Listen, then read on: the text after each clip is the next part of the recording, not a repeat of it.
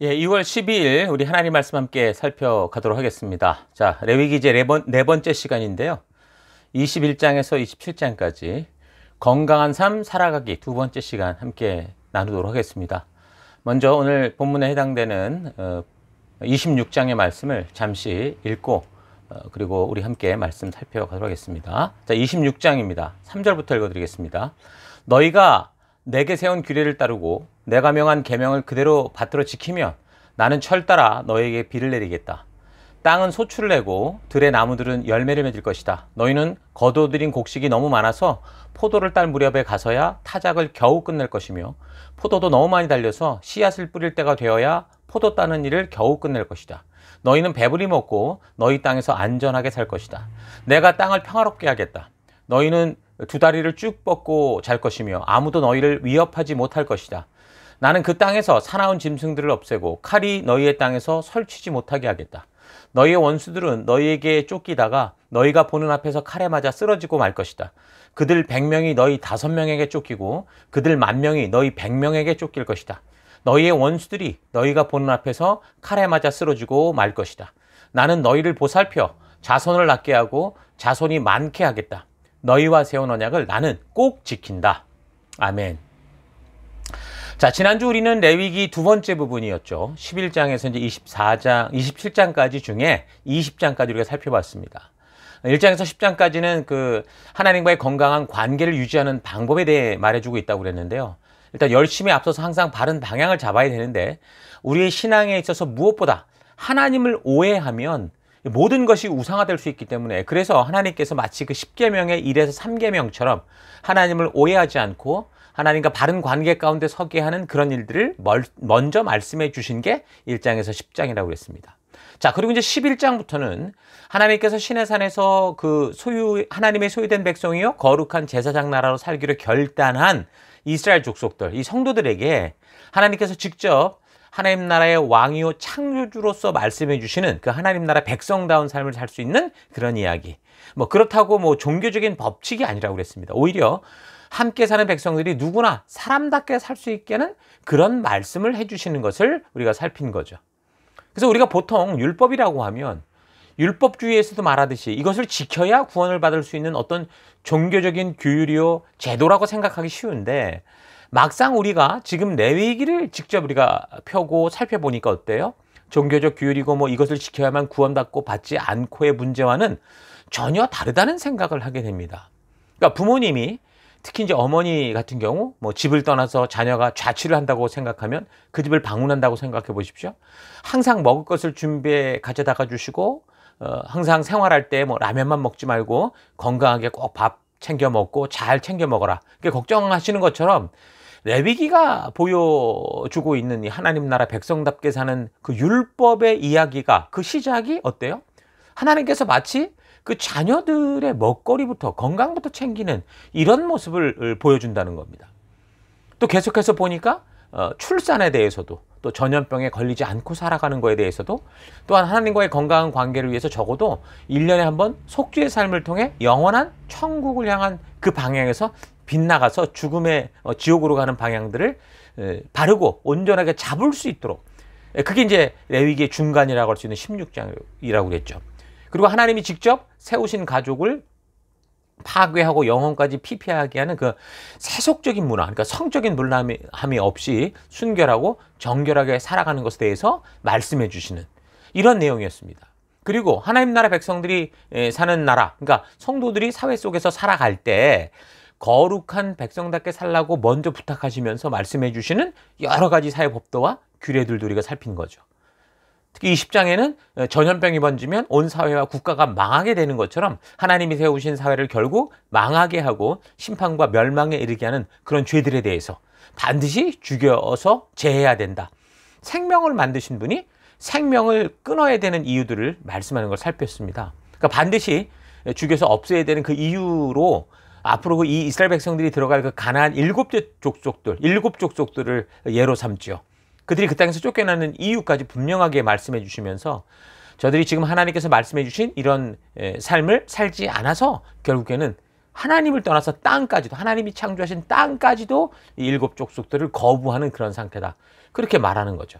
20장 22절 내가 너희에게 지키라고 일러준 규정과 법을 그대로 지켜라 그리하여야 내가 너희를 데리고 들어갈 그 땅이 너희를 토해내지 않으리라.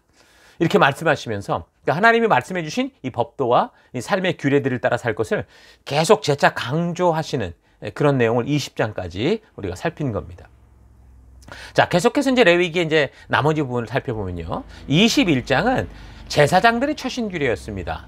제사장과 대제사장은 하나님께서 직접 그 레위 자손 중에서 그 모세의 형이었던 아론을 대제사장으로 삼으셨고 그리고 아론과 그 후손들에게만 이 역할, 제사장의 역할을 할 수 있도록 하나님이 명하셨죠.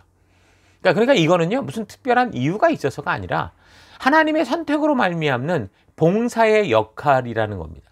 그러니까 성도들의 삶에 있어서는 누구냐, 왜 그 사람이냐, 이것보다 더 중요한 게 뭐냐면 하나님이 맡기신 그 역할과 그 사명이 무엇인가라는 거죠.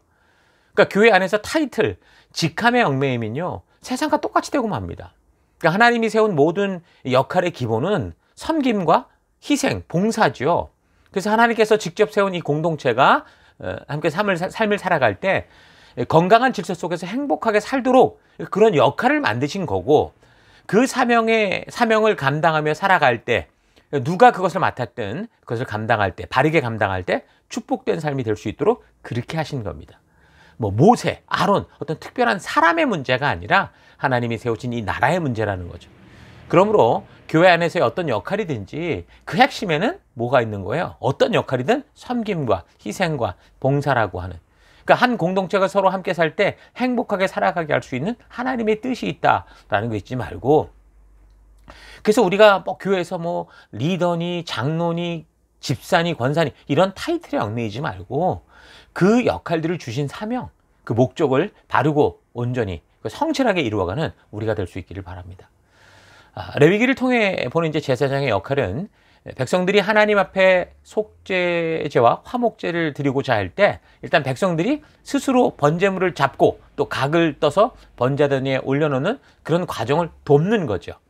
그래서 각 과정에서 하나님께서 명하신 대로 백성들이 하나님과의 건강한 관계로 돌아올 수 있도록 그 돕는 역할을 행하는 것이 레위기의 어, 제사장들 중요한 역할이었습니다. 물론 이들이 성막을 관리도 하고 또 백성들의 삶에서 율법을 따라 진찰하는 일이나 판결하는 일이나 그리고 율법을 가르치는 그런 일들 그러니까 백성들을 위해서 속죄의 제사를 드리는 일들 이런 거를 함께 돕는데 분명한 것은 하나님과 바른 관계를 맺고자 하는 그런 사람들을 어떻게 하는 거예요? 사람들이 자신의 방법대로가 아니라 하나님께서 명하신 하나님의 방법대로 인도하는 그런 역할을 하는 것이었습니다. 자, 그렇게 되면 속죄제와 화목제를 드리는 백성들의 경우 어떻겠어요? 어쨌든 하나님과 가까이 있는 것처럼 보이죠. 제사장들의 역할이 하나님의 그 명령을 대행하는 그런 사람들인데 마치 그들이 그 위대한 그 지도자 모세를 보는 것처럼 제사장의 역할이 상당히 뭐 거룩하고 특별해 보였을 수 있다는 겁니다. 예, 그래서 제사장들은 비록 그 역할은 그가 맡은 사명은 단지 하나님이 명하신 것을 행하는 대행자들이었지만 다른 사람들의 눈에는 마치 하나님의 역할을 대행하는 것 같은 그러니까 마치 모세가 하나님의 그 말씀을 받고 전하는 그런 역할과 같은 좀 차원이 다른 사람으로 볼 수 있었겠죠. 원하지 않아도 나는 그런 사람이 아닌데 목사도 그렇고 보면 우리가 무슨 하나님을 대변하는 사람이 아닌데 그런 역할 속에 전해야 되는 사명이 있다 보니 사람들은 그렇게 보게 되더라는 겁니다. 그래서 사명을 맡은 자들의 삶은 가능하면 어때요? 어떤 상황과 환경 속에서도 끝까지 이 하나님의 말씀의 가치를 따라 살아내는 그런 순종의 삶을 보여주는 게 중요한 거죠. 하나님을 대신하는 것 같은 사람들이 삶에 있어서 하나님께서 명하시고 인도하신 그 길, 그 가치를 따라 살지 않는다면 그래서 자기들에게는 뭐 특별히 어, 하나님의 종 이러면서 예외를 적용시키고 마치 신의 혜택을 받는 그런 사람들처럼 산다면 다른 사람들이 어떻게 돼요? 하나님을 오해하는 거예요. 더 나아가서 하나님의 말씀을 신뢰하지 않게 되겠죠. 결국 그래서 하나님을 불신하게 되고 어, 또다시 그럼 각기 제 길, 그러니까 죽음의 길로 가게 될 수 있다는 거예요. 오늘날 많은 사람들이 교회 다니는 어, 하나님의 자녀라고 하는 이 교인들의 행동과 말을 보고 어때, 어때요? 실망해서 하나님을 불신하고 저주하는 그런 현상이 나타나는 것과 같은 거죠.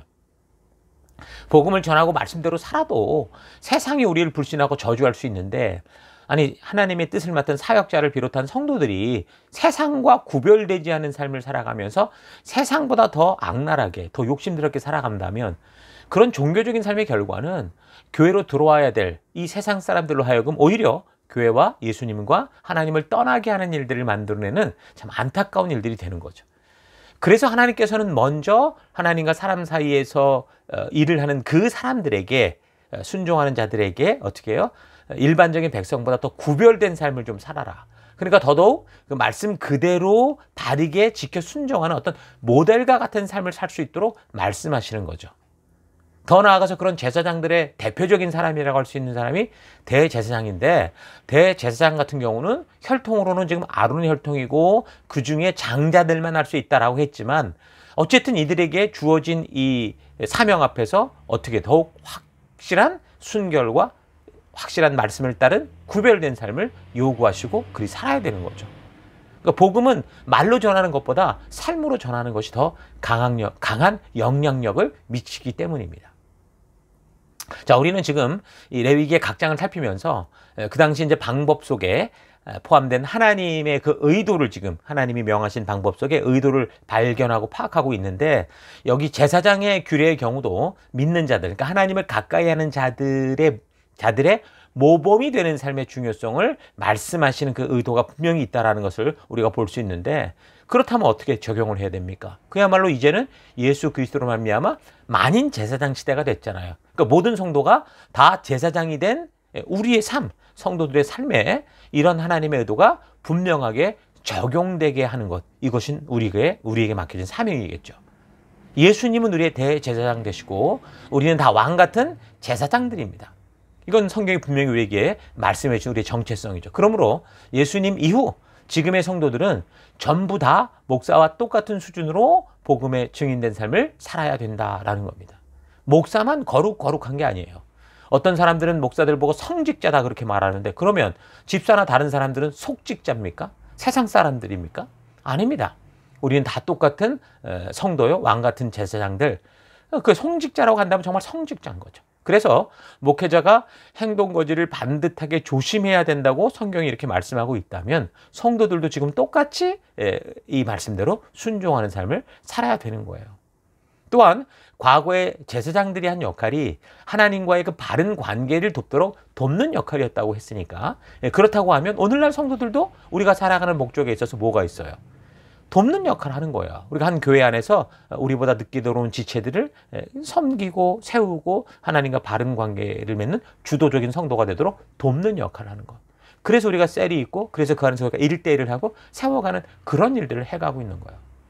그래서 성도들도 이런 하나님의 의도가 있는 성령과 역사를 바르게 알아서 지금 이 사건들을 통해 하나님이 말씀하시고자 하는 하나님의 뜻, 의도를 바르게 알고 있어야 되는 거죠.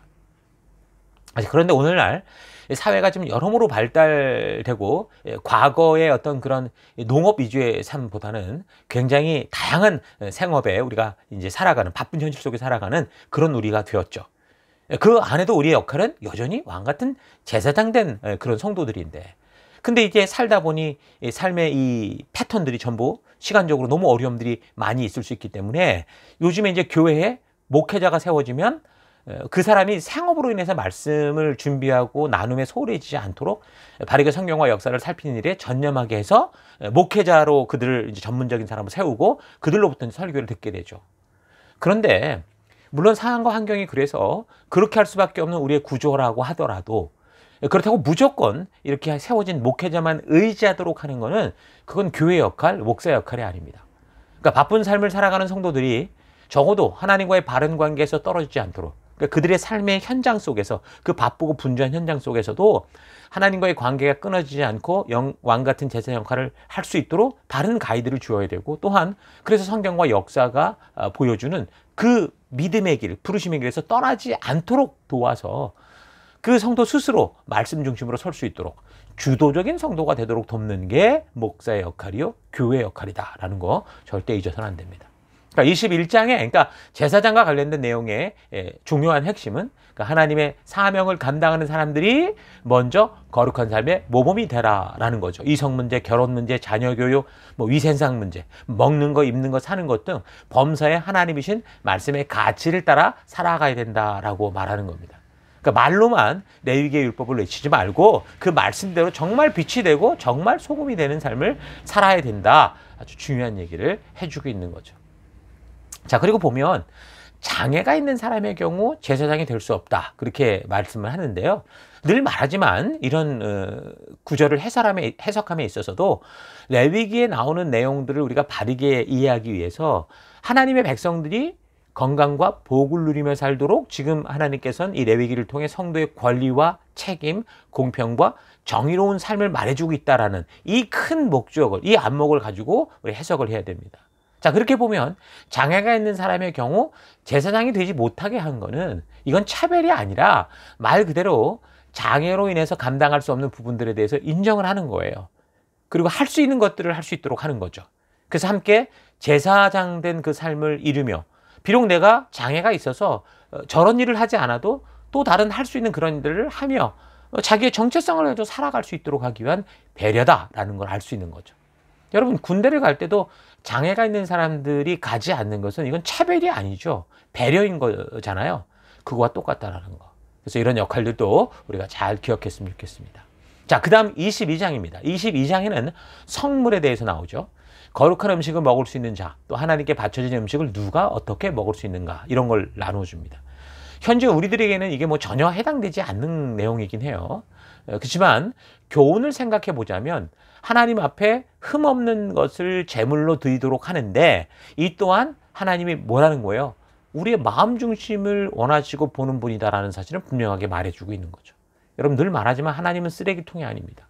하나님과의 바른 관계를 원한다면 정말 하나님께 우리의 마음 중심, 우리의 모든 것을 드려야지 남는 찌꺼기를 들면 하나님께서 기뻐하지 않으시고 어, 그 제사와 제물을 받지 않는다라고 말씀하시는 거죠.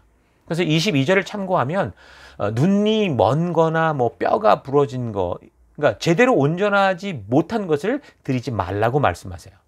그러니까 이 우리의 마음 중심이 아닌 헛된 마음, 욕심, 대충 하는 이런 것들 가지고 예배 가운데 서지 말라는 거죠.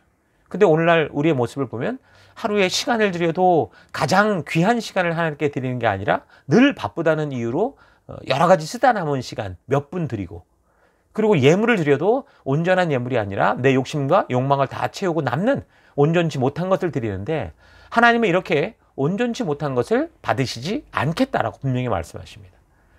그런데도 어떻게 했어요? 이 백성들이 이런 하나님의 진심이 담긴 이 말씀을 들었음에도 불구하고 어, 지키지 않았죠. 그래서 결국 이런 하나님의 말씀이 온전히 지켜지지 않고 결국 그 고집스러운 욕심의 삶을 살다가 말라기와 같은 사건이 벌어진 겁니다.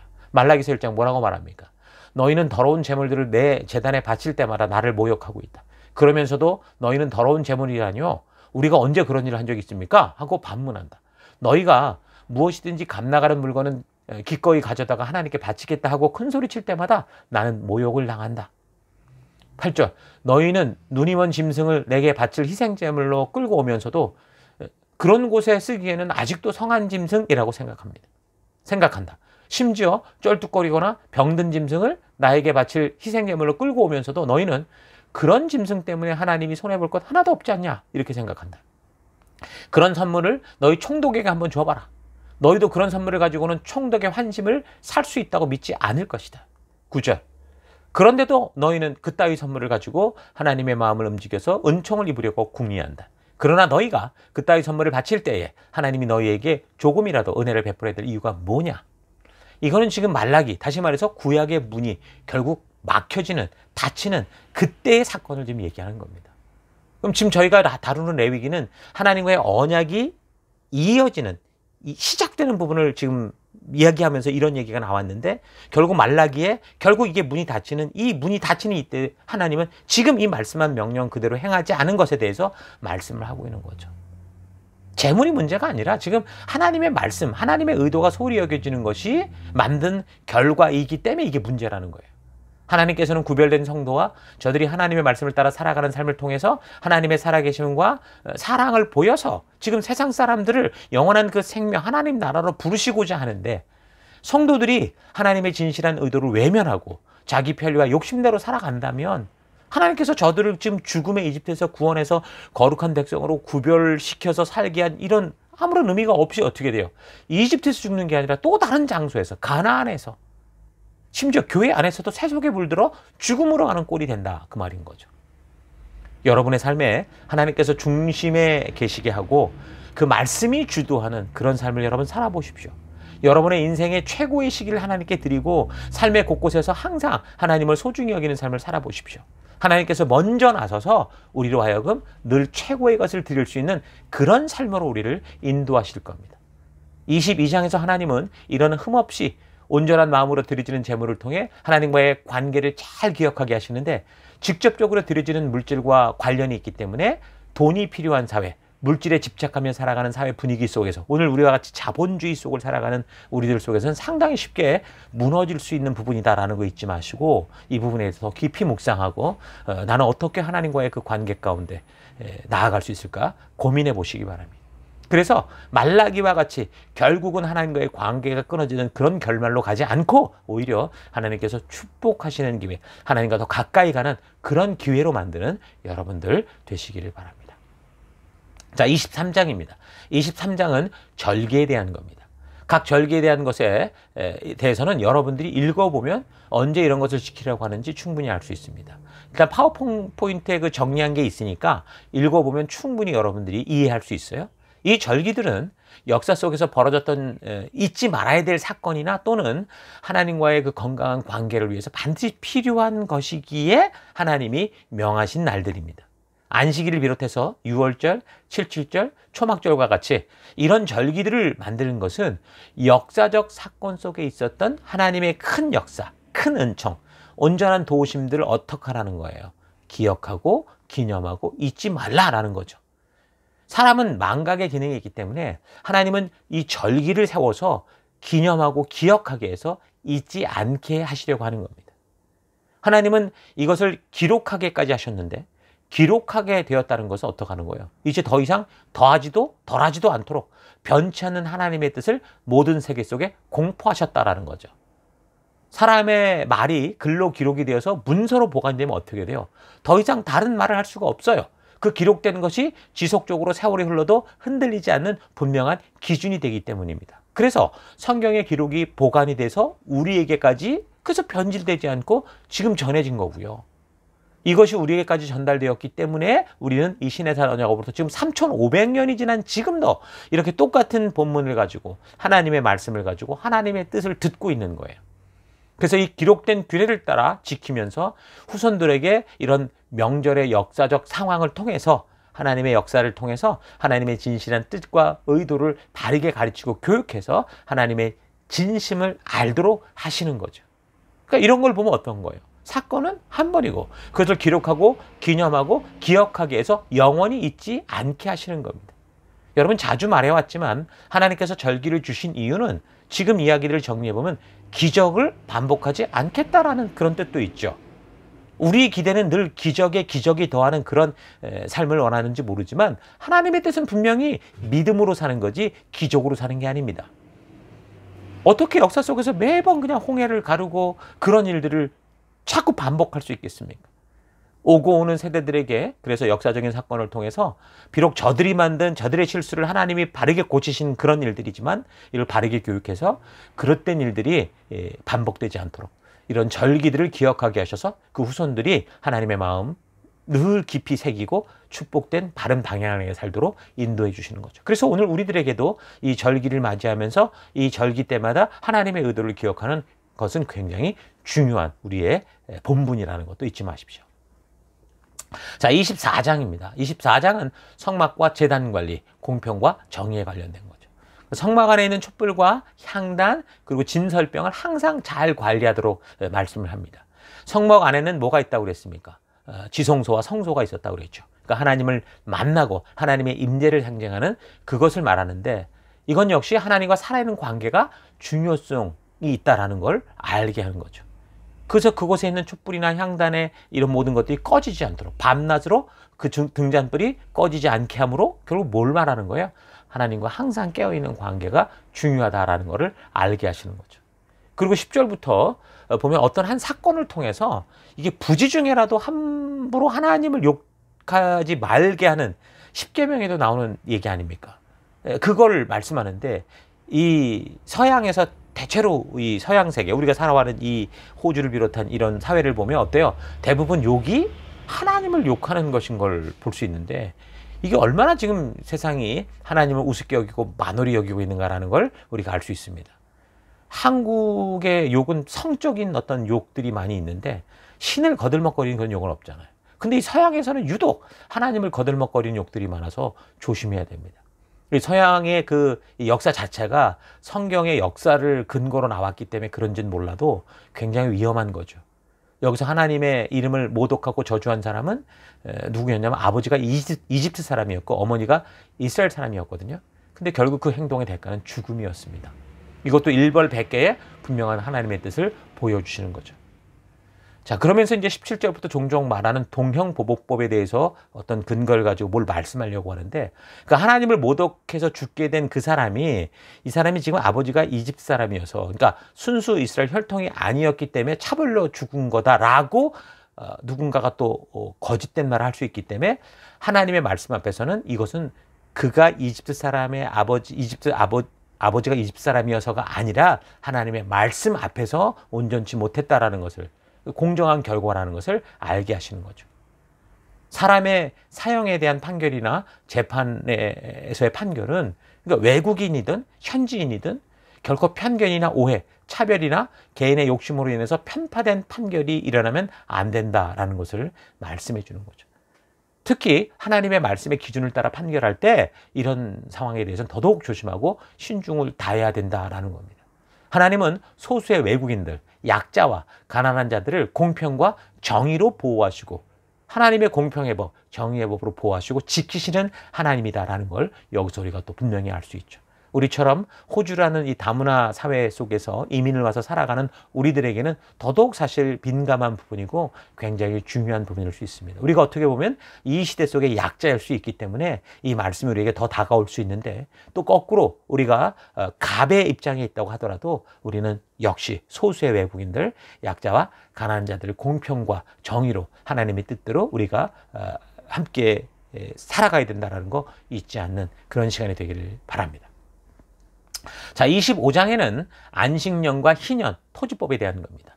여기서는 이제 안식일, 뭐 월삭, 안식년, 희년 이런 어, 절기에 대해서 말씀하시는데 하나님께서는 사람들의 모든 삶이 순종해서 살아간다면 어, 결국 빈익빈 부익부의 사회가 되지 않고 모두가 함께 행복하게 살 수 있는 그런 사회가 될 수 있도록 모든 걸 준비하십니다. 그래서 땅까지도 충분히 쉴 수 있게 하고 재생산이 가능할 수 있는 쉼과 휴식을 주는 그런 시간까지도 명하시죠. 그래서 7년에 한 번씩 땅까지도 완전히 쉴 수 있게 합니다. 보통 교회에서 안식년 그러면 목회자가 쉬는 그런 어떤 시기로 알고 있는데 성경은 그런 사람이 아니고요. 땅이 쉬는 해를 안식년 이렇게 말합니다. 그러니까 땅, 땅을 이용해서 살아야 되는 농부들의 경우 그래서 땅이 쉬는 동안 그들도 쉼의 시간을 가질 수 있는 거죠. 그래서 오늘날 목회자들이 가지는 이 안식년의 개념은 목회자들보다 어떻게 보면 정말 삶의 현장에서 수고하는 성도들이 정말 여건이 된다면 그렇게 뭐 7년에 한, 한 번씩은 그런 쉼과 회복의 시간을 그렇게 가질 수 있으면 참 좋겠죠. 그런 것들이 요즘에는 이제 휴가다 이래가지고 1년에 한 번씩은 그런 기회를 가지고 있는데 참 좋은 거라고 생각을 합니다. 하나님은 천지 만물의 창조주로서 땅을 7년에 한 번 쉴 수 있게 해야 1년을 쉬게 해야 그 땅이 또 바른 소출을 내어줄 것을 분명하게 말씀해 주십니다. 이건 농부들이 더 잘 아는 얘기거든요. 농부들이 이런 원리를 삶의 경험을 통해 알았다면 하나님은 창조주시기 알고 계신 거죠. 그래서 한해 농사를 쉬면 어떻게 먹고 살아냐, 살아야 되냐, 이런 걱정이 있는 사람들이 있을 텐데, 그런데 하나님 뭐라고 하냐면 순종하고 그대로 살아간다면 하나님께서 그것까지도 책임지신다는 거죠. 예, 그것까지도 책임지실 놀라운 역사를 보게 될 거다 약속을 해주십니다. 그러니까 하나님께서는 그냥 무조건 어려운 종교적 사회적 조건을 던지고 지켜라 이렇게 말하는 분이 아니라는 거예요. 당신이 말씀하시고 명하시는 것은 당신이 책임지겠다고 하는 완벽하게 내가 너를 책임져 주겠다고 하는 그런 약속이기 때문에 그래서 순종의 삶이 굉장히 중요한 것을 우리에게 알게 하시는 거죠. 또한 이런 안식년이 일곱 번, 그러니까 7년씩 일곱 번이 지나가면 49년이 어, 되겠죠. 그리고 그 다음에 되는 50년째가 될 때를 희년이라고 명합니다. 그래서 이거는 더더욱 특이한 경우인데 왜 삶을 살다가 보면은 뭐 이런저런 사업도 하고 어, 노력하다가 망하기도 하고 어, 그러다 보면 이제 땅을 팔아서라도 뭐 해결해야 되는 그런 일들이 생기죠. 그러다 보면 심지어 종이 돼서 몸으로 그냥 갚기도 하는 그런 일들이 생기는데 이제 그런 것들을 다시 원래의 상태로 되돌리게 하는 거. 그게 바로 50년째 되는 희년의 의미입니다. 하나님이 말씀하시는 땅의 개념은 사람의 것이 아니라 하나님이 주인 되실 거거든요. 왜요? 하나님이 창조하셨으니까. 그래서 땅 주인인 사람은 없어요. 성경의 원리대로 하면. 그렇게 보면 창조주이신 하나님께 대여를 받아서 사용하는 것과 같은 그런 개념이에요.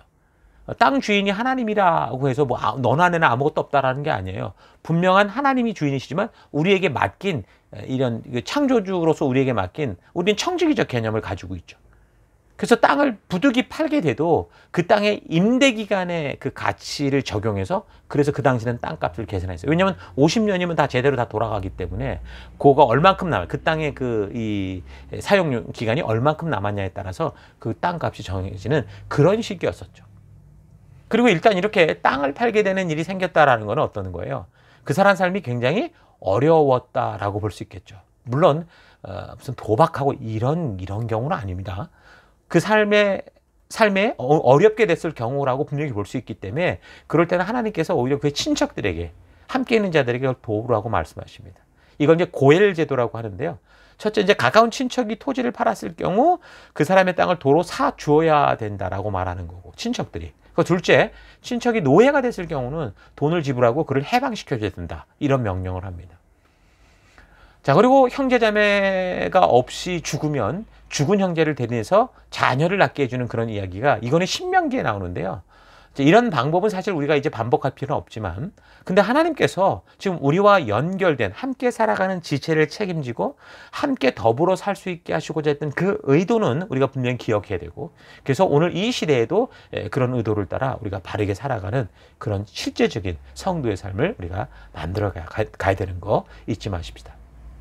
자, 이뿐 아니라 25장 전체에 흐르는 하나님의 의도는 어려움을 당한 이웃들에 대해서 공동체가 함께 책임을 감당할 수 있는 그런 사회를 만들라고 하는 걸 알 수 있습니다. 좀 혼란스러운 것은 어, 사실 44절에서 46절인데 거기 보면 마치 노예 제도를 인정하는 것 같은 이야기가 나와요.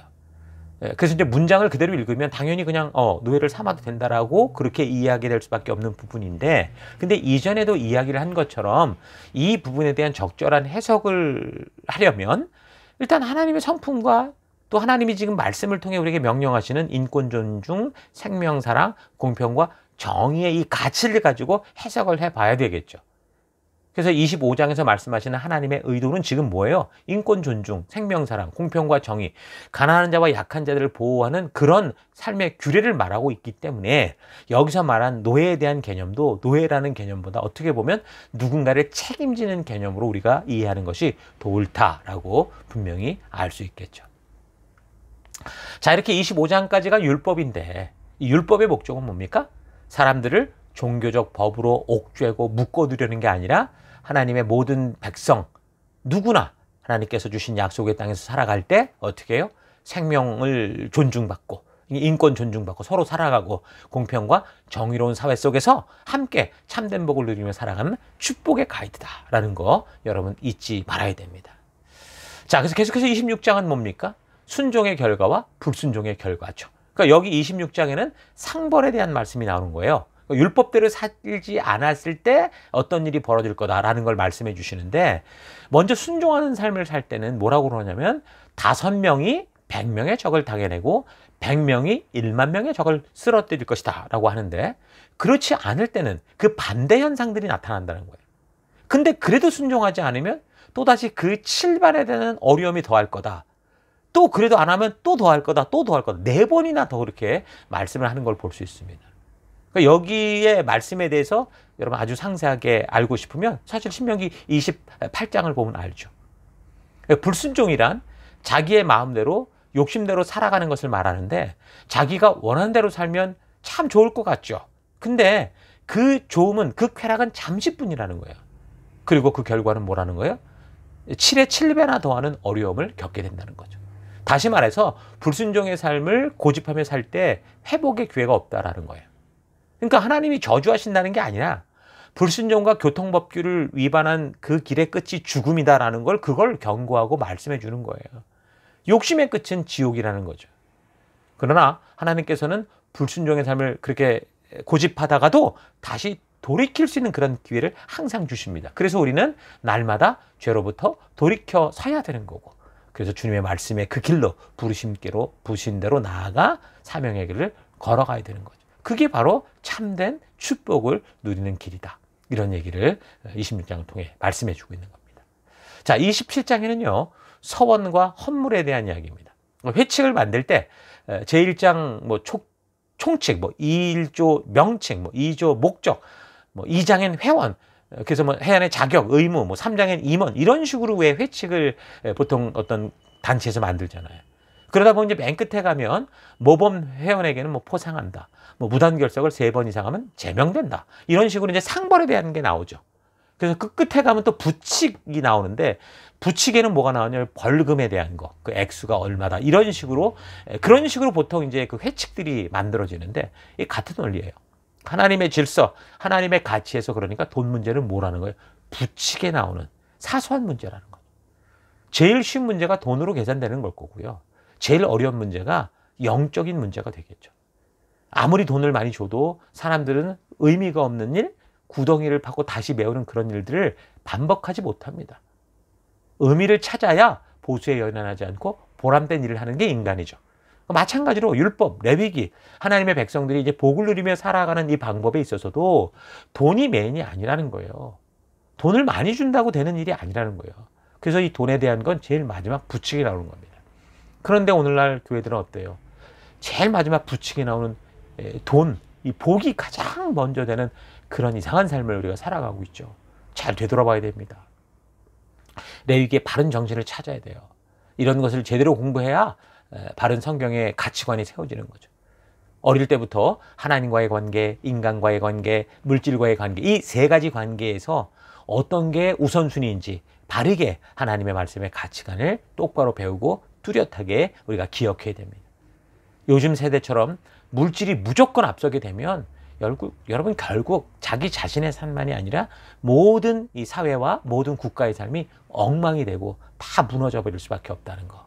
여러분 잊지 마시고 이 하나님이 주신 이 레위기 이 말씀의 가치를 통해서 오늘 우리가 어떤 사회를 만들어가고 나는 어떤 가치를 따라 살아가야 되는가 나는 성도로서 어떤 길을 걸어야 되는가 분명하고 확실하게 하는 귀한 시간 되기를 바랍니다. 자 이렇게 이제 우리가 레위기 전체를 살펴봤습니다.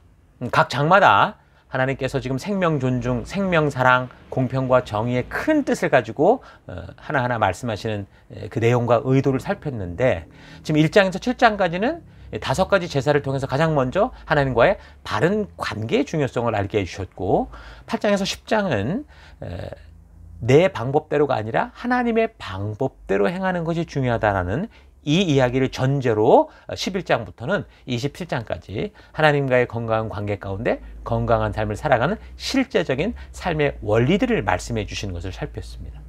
이것은 우리와 상관이 없는 얘기가 아니라 오늘 우리 시대에도 여전히 삶의 성도들의 삶의 기준이 되고 오직 유일한 삶의 가치로 삼고 나아갈 바입니다. 방법적인 것은 달라질 수 있죠. 그러나 하나님께서 의도하시는 것들은 여전히 오늘날에도 변함없이 지켜지는 것이 하나님 나라 백성답게 사는 길이다라는 거 잊지 마셔야 됩니다. 성도인 여러분과 저의 사명이라는 거죠. 그래서 우리가 이 율법의 분명한 의도를 알아야 되고 내용을 알아야 되는 거예요. 그래서 우리가 이 율법의 가치를 모르잖아요. 지옥 가는 게 아니라 사실 풍성한 삶, 건강한 삶을 잃게 되는 거죠. 하나님이 약속한 그 풍성한 삶을 살지 못하게 되는 거예요. 영적인 영상의 길도 여러분 자칫 잘못하면 잃어버릴 수 있고요. 결국에는 그 불순종하고 욕심대로 사는 길이 그 끝이 지옥으로 가는 그, 그런 길로 갈 수도 있다라는 거예요. 자, 우리가 지금 내위기를 네 번에 걸쳐서 나누면서 정리한 이 사실들을 잊지 마시고 여러분 이 내용들을 수시로 읽고 묵상해서 이 시대 속에서 우리가 어떤 성도다운 삶을 살아갈 수 있을까 좀 지혜로운 하나님의 뜻을 아는 귀한 시간 되기를 바랍니다. 오늘 이 시대에 발생하는 많은 문제들에 대해서 이 레위기의 말씀을 통해 성경적인 것과 비성경적인 것을 잘 구분하고 바르게 분별해서 이 시대 속에 하나님의 거룩한 나라요, 왕 같은 제사장요, 하나님의 소유된 백성답게 살아가는 그런 성도들이 되기를 바랍니다.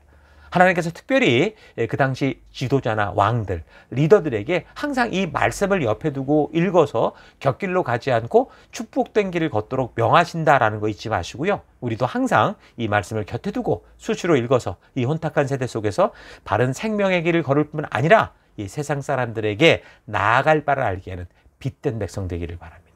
레위기를 읽다 보면 말투가 다 명령처럼 되어 있어 보여서 딱딱한 느낌을 주기도 하고 또는 거부 반응이 들 수도 있지만 그러나 그 내용을 좀 자세히 들여다보면 그 내용들은 다 나를 위한 사람들을 위한 것이다라는 걸 우리가 분명히 알 수 있다고 했습니다. 결과적으로 율법이라고 하지만 명령의 책 같지만 이것은 율법이 아니라 사람을 창조하신 조물주의 그가 창조한 사람들이 건강하고 행복한 삶을 살 수 있도록 한 가이드요 세밀한 매뉴얼과도 같은 거죠. 그래서 이번 기회에 다시 한번 차분히 정리하고 차분히 묵상하며 읽어가기를 바랍니다. 율법이라고 하는 내위기는 결국 예수님의 말씀처럼 하나님 사랑, 이웃 사랑에 대한 이야기다라는 거 잘 기억하시고 그래서 우리의 영육간의 건강한 삶을 위해서 축복된 삶을 위해서 우리는 이 레위기의 내용을 잘 파악하여 이 말씀의 가치를 따라 걷고자 하는 그런 결단들이 있기를 바랍니다. 자, 레위기가 분명하게 정리가 돼야 어, 역사서를 공부할 때 그래야 이제 이스라엘이 고통당하는 그런 이유들도 우리가 아, 분명히 알게 될 거고 왜 이 역사가 이렇게 혼탁스러워지는가, 왜 하나님이 한탄하시는가라는 걸 알게 될 겁니다. 자, 그래서 레위기를 모르면 역사가 왜 이렇게 진행되는지 잘 이해할 수가 없겠죠. 전혀 가늠이 안 될 수도 있습니다. 그래서 이 레위기는 구약의 중심이고 오경의 중심이 되는 완전히 정말 성경의 중심이 되는 굉장한 내용을 가지고 있다라는 거 잊지 말고 여러분 잘 파악하셔야 됩니다. 자, 그동안 우리가 레위기의 중요성을 계속 말해오면서 이번 네 번에 걸쳐서 이렇게 레위기에 대한 내용을 살폈는데 이 내용들을 여러분 잘 기억하시고 이제 우리 역사 이 성경으로 이어지는 다음 주에 민수기부터 살펴가는데 이런 역사 속에 왜 어떤 일들이 이렇게 벌어지고 있는가 잘 살펴가는 우리가 될 수 있기를 바랍니다. 자, 다음 주 계속해서 우리 민수기 살펴가도록 하겠습니다. 자, 우리 다 같이 지금까지 들은 우리 말씀들을 잘 기억하면서 잠시 묵상하며 기도하십니다. 묵상하겠습니다.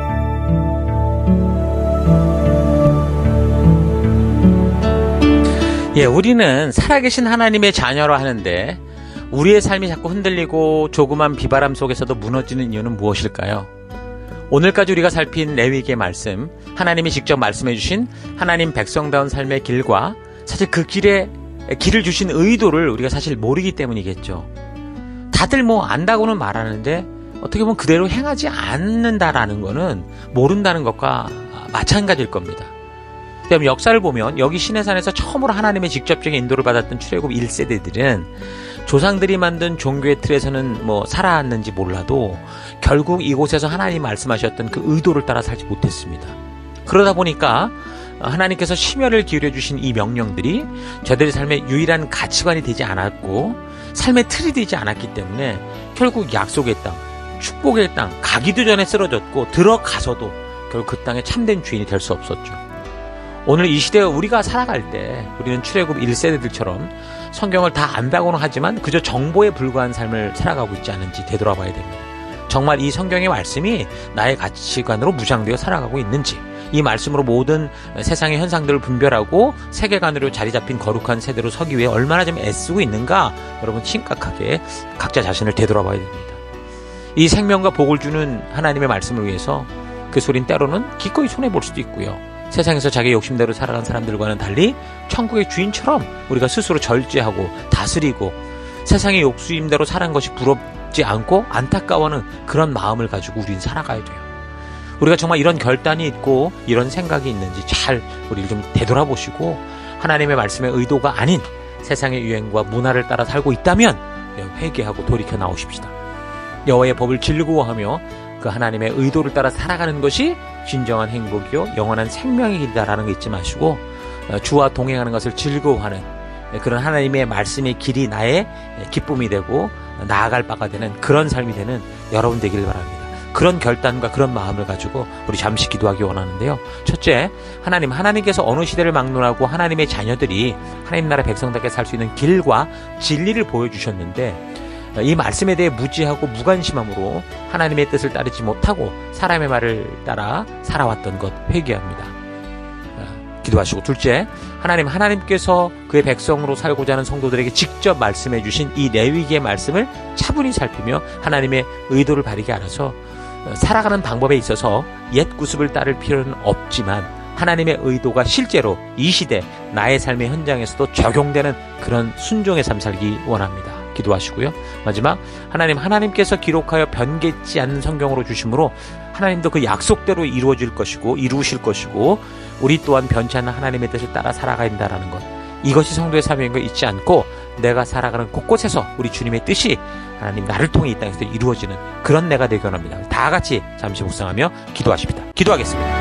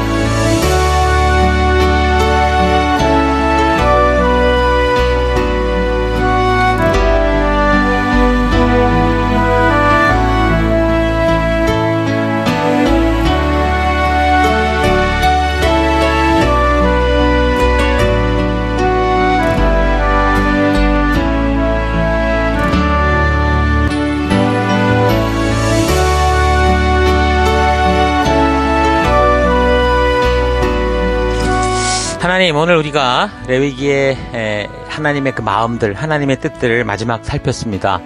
하나님 이 하나 한 장 한 장마다 한 구절 구절마다 그 안에는 하나님께서 우리를 위해 나를 위해 준비하신 그런 놀라운 축복의 말씀들이 있는 것 우리가 되새겼는데 하나님 하나님께서 어느 시대를 막론하고 그렇게 하나님의 자녀들이 하나님 백성답게 살 수 있는 이런 분명한 이 말씀들을 우리에게 주셨는데 하나님 그동안 이 말씀에 대해 무지했고 무관심했고 그래서 하나님의 뜻이 무엇인지도 모르고 그냥 교회당을 왔다 갔다 하며 종교적으로 살아왔던 걸 회개합니다. 하나님께서 그의 백성으로 살고자 하는 성도들에게 직접 말씀해 주신 그래서 이 말씀, 이 레위기의 말씀을 차분히 살펴서 그래서 하나님의 의도를 바르게 알아서 하나님 그 안에 있는 옛 방법이 아니라 하나님의 의도를 알아서 오늘 이 시대 하나님 새로운 시대 속에 또 우리 주님이 주신 그 의도를 따라 새로운 주의 나라를 이루어가는 내가 되기를 원합니다. 하나님께서 기록하여 변개치 않는 성경으로 주심으로 하나님도 그 변개치 않는 그 약속을 우리에게 지켜주실 것이기에 나 또한 우리 주님이 약속하신 그 약속 가운데 기꺼이 나아가 우리 주님의 거룩한 백성답게 살아감으로 하나님 내려 살아가는 곳곳에서 주님의 나라가 이루어지는 하늘의 뜻이 이 땅에서 이루어지는 그런 하나님의 나라를 이루어가는 내가 되기 원합니다. 우리가 되기 원합니다. 그 길로 우리를 이끄시고 인도하신 하나님 감사드리고 예수님 이름으로 기도했습니다. 아멘.